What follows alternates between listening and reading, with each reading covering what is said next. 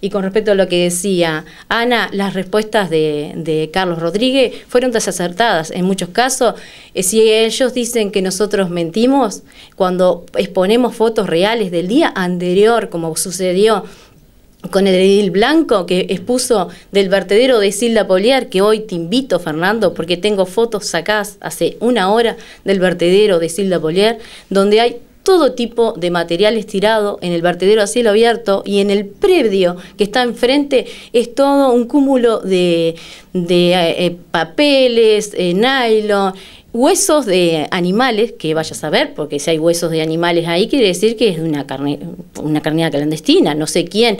Me parece que la gestión ambiental del departamento está está muy mal.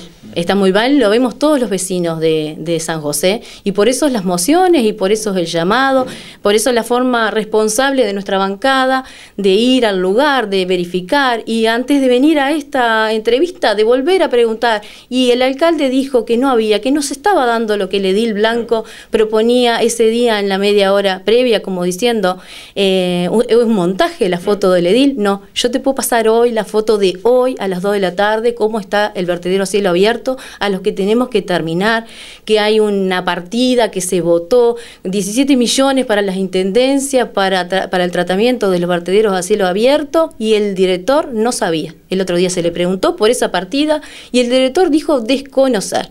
Por lo tanto, Obviamente que no le estamos pidiendo la renuncia, me parece que eso lo evalúa la intendenta, si le va a dar, si le va a dar la renuncia al, al señor Carlos después de las dos actuaciones que tuvo y después de verificar lo que la bancada y el Partido Colorado dijo en ese momento, porque en realidad las fotos son verdaderas, tenemos que volver a decir, vayan, visiten los lugares para decir que sucedió lo del río, que sucedió lo del vertedero y que el dinero está que no se sabe si, si se va a gastar y en qué se va a gastar, porque no hay proyecto, no hay plan.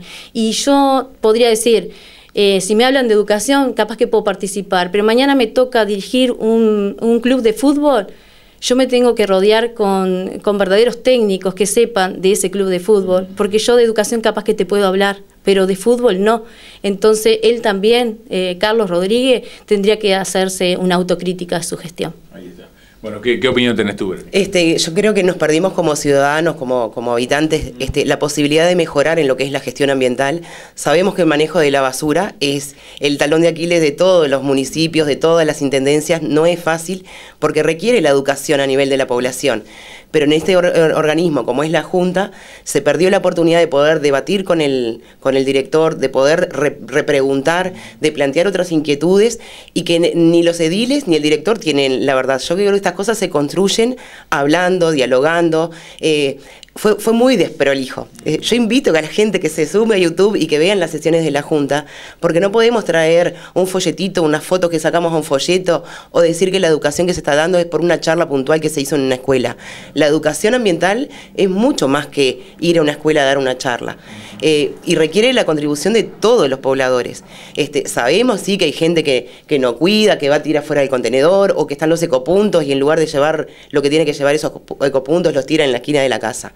Pero por eso tenemos que educar. Y yo creo que esto que pasó en la Junta, nosotros como pobladores nos perdimos la verdadera oportunidad de crecer, de construir, porque, como lo dijeron las compañeras, no se trata de atacar a la persona de Carlos Rodríguez.